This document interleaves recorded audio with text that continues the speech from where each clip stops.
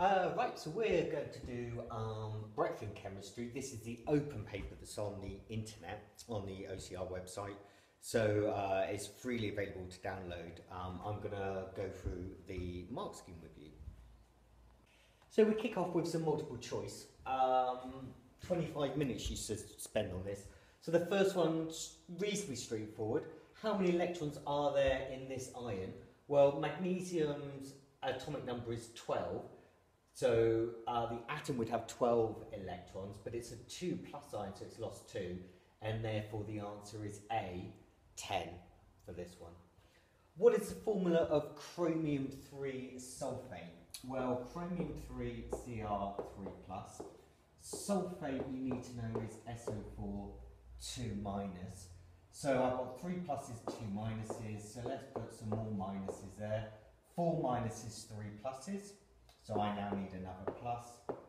Six pluses, four minuses. Let's do another minus. Six minuses, six pluses. So the formula is Cr2. We need to put sulfate in brackets. Remember SO4, 3. So which of these is non-polar? Um, so you're looking for a symmetrical molecule. Um, SF6 is going to be octahedral, so it will be symmetrical, and therefore the answer is A. You don't need to worry about the rest.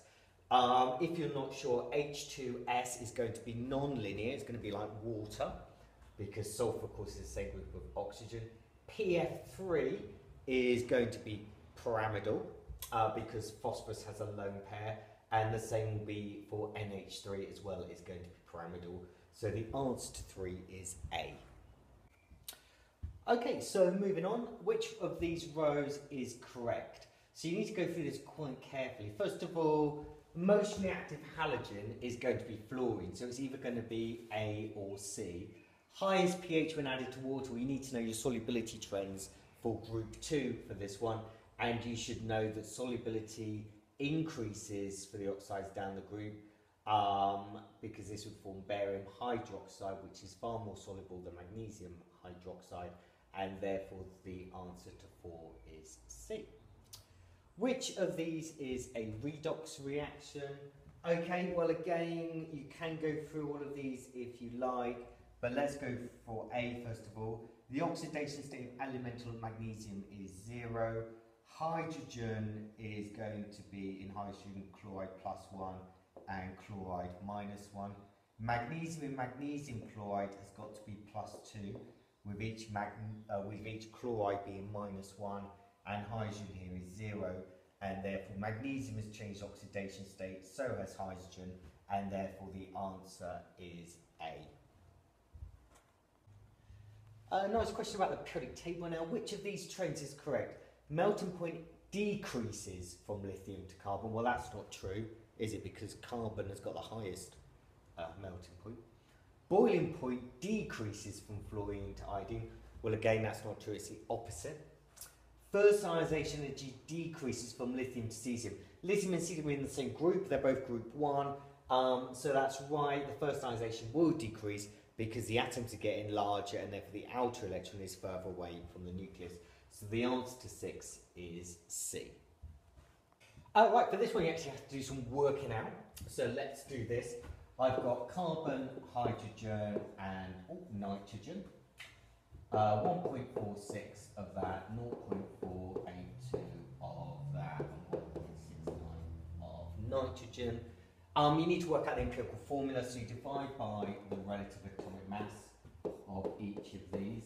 If you do that, you get uh, 0.122, 0.482 and 0.142.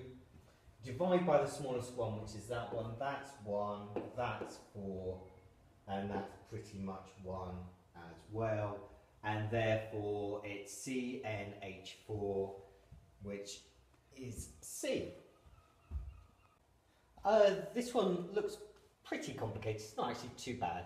Um, a student mixes 100 centimeters cubed of 0.2 mole uh, sodium chloride with 100 of 0.2 sodium carbonate.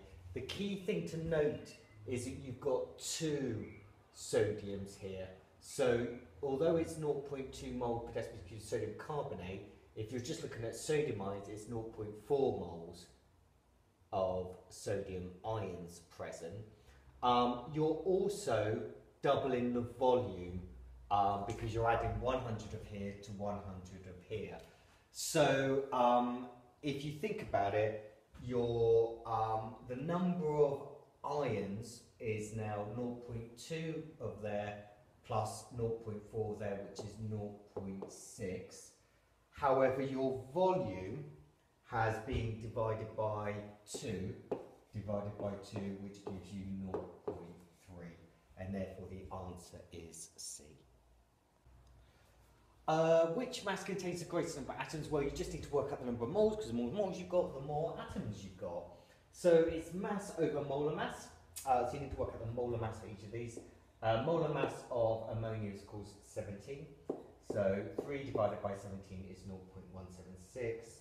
And then the same for each of these. So 0.025, uh, 0.118, and 0.1096.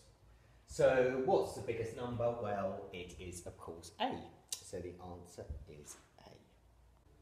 So for this one, again you need to um, maybe get the calculator out. Which reagent would exactly neutralise 100 centimetres cubed of 1 mole per decimetre cubed sulfuric acid? So how many moles of sulfuric acid do you have? Well, it's concentration times volume divided by 1000. So you've got 0.1 moles of H2SO4.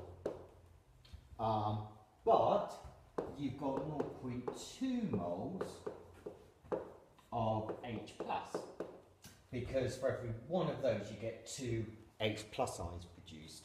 Um, so you need to find something which is going to neutralise 0.2 moles of H plus. Well, if you just go through, this has got three hydroxides in it, so the concentration of hydroxide ions is 0.3. The constant, this is uh, ammonia um, will only neutralise one H plus, so that's not going to do it because I've only got 0.1 moles of that. You've got two hydroxides here, so your concentration of hydroxide ions is 0.2, which is the same as that, so the answer is C. Uh, right, so the next one you need to do a Hess cycle. Key thing to note is they're giving you formation data. Don't worry about this. What are they giving you? They're giving you formation data. So down here is going to go the elements. So what elements do I have? I have got 2N2 plus 4H2 plus 3 and a half O2. Just let me adjust the board. Okay, um, and now I need to add in my arrows. It's formation data, so the arrows go up, like so. Formation of ammonium nitrate is minus 266, but I've got two of them, so that comes to minus 732. Nitrogen, don't, worry about because there's no change. Water is minus 242, but I have got four of them, which gives me minus 968. And carbon dioxide is minus 394. I've only got one of those. So that comes to a grand total of minus 1,362. Right, now you need to do your equation. Can you see that these two arrows, that one and that one, are going the same direction? If I do my little circle, clockwise arrows go around, these arrows go clockwise, these arrows go anti-clockwise.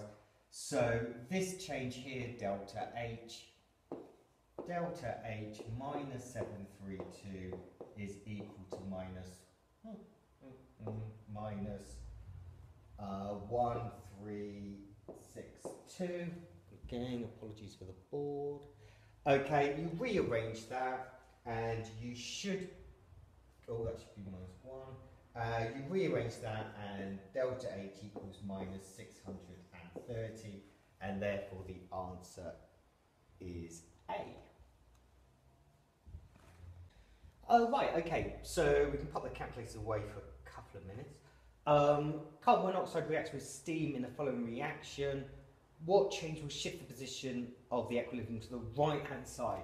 So I want to get it onto this side. Can pressure do anything? Well, no, pressure can't do anything because I've got two moles of gas this side, two moles of gas that side, so pressure won't affect it at all. So it's got to be temperature. This is an exothermic reaction. So in order to favour this one, I need to remove heat. So the answer is C. I want to decrease the temperature and that will drive the reaction to the right hand side because that generates heat. So 12 is C. Which substance contains hydrogen bonding in the liquid state? Remember, for hydrogen bonding, you need a hydrogen bonded to a nitrogen, an oxygen, or fluorine. So let's look for that. Have I first of all, I haven't even got an oxygen, nitrogen, and fluorine in that one. I've got a fluorine in this one, but the hydrogen isn't bonded to it.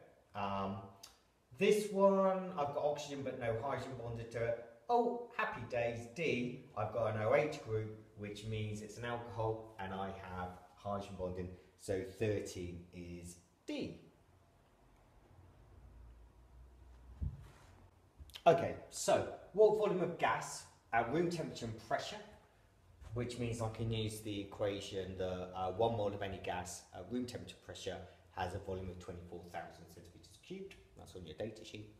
Um, is required for complete combustion of uh, 1.25 times 10 to the minus 3 moles of propane 1 Okay, for one of those, I need 4.5 of those. You need to do your balanced equation first of all, otherwise you're not going to get this right. So, 1.25 times 10 to the minus 3 times 4.5 gives you 5.625 times 10 to the minus, minus 3. Um, right, and then you times that number by 24,000 and the answer you'll get is C, 135. Okay, so this is one that will probably drive you a little bit mad when you're stressed for time. Um, you know, it is quite straightforward. So, three of the following displayed formula represent the same isomer, but one is a different isomer. So we've got to spot the different ones. So, Hopefully you can see that this one and this one, they are the same. All you've done, because this has got free rotation around, so you've just circled around there. Um, let's have a look.